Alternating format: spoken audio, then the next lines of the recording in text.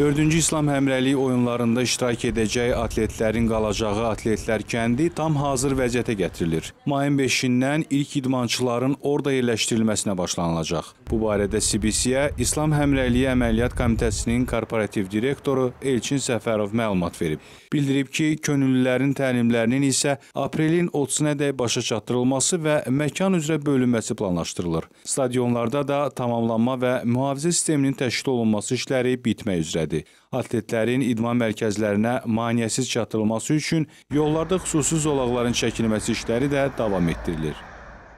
Görəcəyimiz işlər akkreditasiya ilə bağlıdır ki, hal-hazırda bütün idmançıların, hansı ki Azərbaycana gözlənilir 3000-dən artıq idmançı və ondan bir qədər artıq deyək ki, 1000-ə yaxında texniki heyətin gəlməsi gözlənilir və bütün onların hamısının atletlər kəndində yerləşdirilməsi üçün mütləq akkreditasiyadan keçməsi və e, demək Bakı şəhərində həmçinin e, onların e, məkanlarla tanışlığı prosesidir.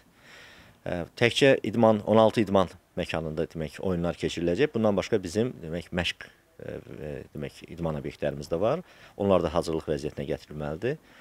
4-cü İslam Həmrəliyi oyunlarının açılışı və bağlanış mərasiminin Bakı Olimpiya stadionunda keçiriləcəyi bildirilir. 57 dövlətin idmançıları 10 gün ərzində 21 idman növü üzrə 1600-dən çox medal uğrunda mübarizə aparacaqlar. İslam Həmrəliyi oyunları mayın 12-sindən 22-sinədək davam edəcək. Orxan Bədalov, Elman Nəbiyev, CBC